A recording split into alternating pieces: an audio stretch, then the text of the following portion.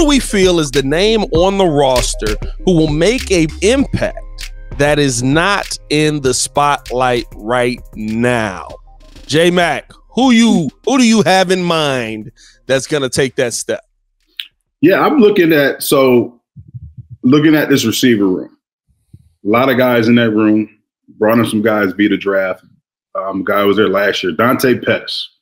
Mm. Right, he was a second round draft pick when he came out. Um, got good athleticism. Was their main returner last year. Has the ability, but only had 19 catches last year. Right, yeah. so he's in a situation where you know, we, when he's in that wide receiver room, and he may be in there right now because I think they they're in OTAs, right? You look to your left, you see Tyler Scott. Look to your right, there's Velus Jones. You look in front of you, there's DJ Moore. Look to the right of DJ Moore, there's Darnell Mooney, right? Yeah. I got to do something if I want to yeah. be here. You know, EQ St. Brown's over here.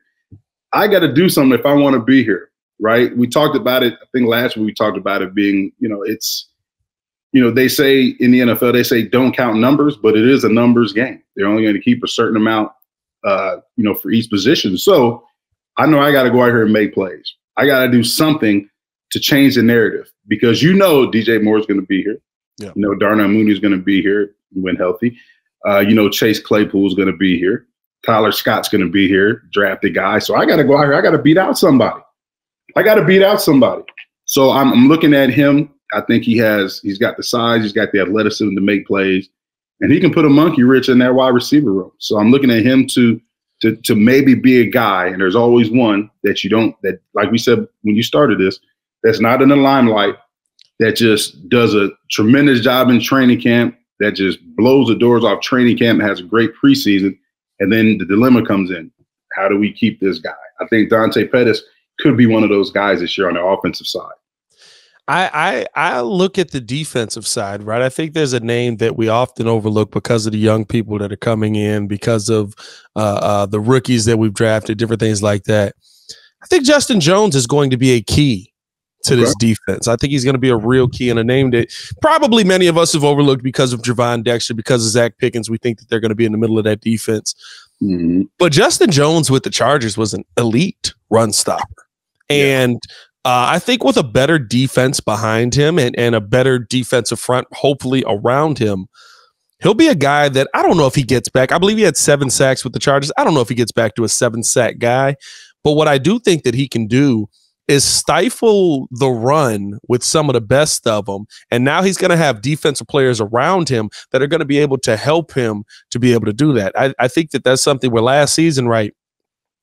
it was it was easy to run on the Bears. Like you, all you had to do was say, "Okay, there's nobody on the outside. I'm gonna run this thing outside." I didn't have to run at Justin Jones. I can run away from Justin Jones all day. I know he's good at that. Yeah. Don't go at him. Let's go over here. Let's go over here. Let's get outside.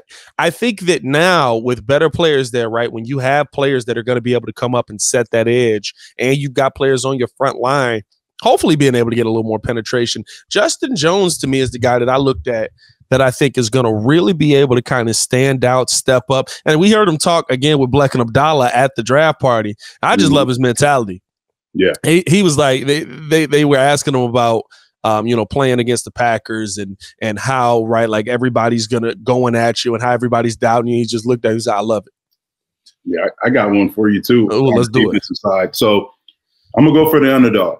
You know, I, have been in this situation with these guys. You know, I've been the underdog. I've been in a room that's had four fullbacks. You know, my rookie year, and I yeah. was fourth when I came in. Um, so I look at it like this, right? Everybody's talking about pass rush. You know, we're talking about hey, bringing Danielle Hunter. You know, Yannick uh, uh, Yannick, Yannick Ngakoue. Yeah, I can't pronounce Yannick Ngakoue. Yannick Ngakoue. Last yeah. name, thanks, yeah. Yannick Ngakoue is out there, right? Now here's a guy who Poles drafted his first year, who really good athleticism. I think he played receiver for, for yeah know, his entire career, and then yeah. he had two years of playing uh, defensive end, and they drafted him based upon his potential, right? And I'm talking about Dominique Robinson. Yeah. Right. You look at you look at Dominique Robinson, right? Hasn't played the position for a long time. When you look at how long he played that position in college, uh, I think he played it for one year and then he had that COVID year, so he didn't play. So he right. opted to stay and then had a full year playing that position. So his first year in Chicago may have been his third year, maybe you know playing that uh, playing defensive end. So You get another year in this defensive system, right? You get another year of development with your position coach.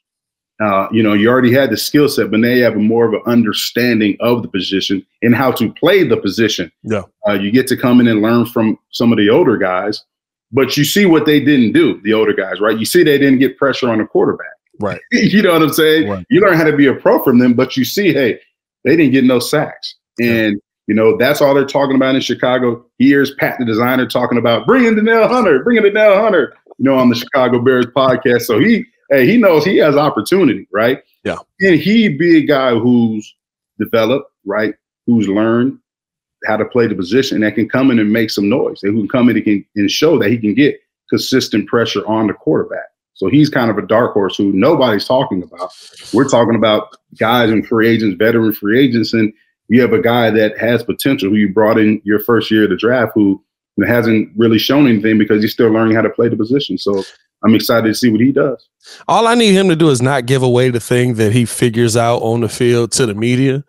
Just don't do that no more. Like I, I was like, like I thought he came out. What was that? Week one versus Yeah. uh, the 49ers comes out killing off of the off of the uh, right side, left side of the line, Mhm. getting into the backfield uh, every play. Like, oh man, this dude's amazing.